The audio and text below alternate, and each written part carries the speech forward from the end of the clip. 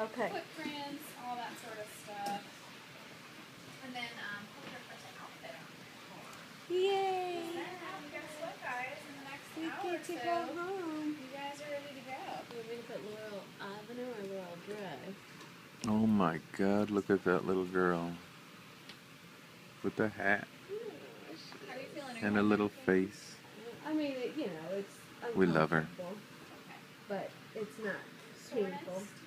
Right, right, exactly. That's exactly the.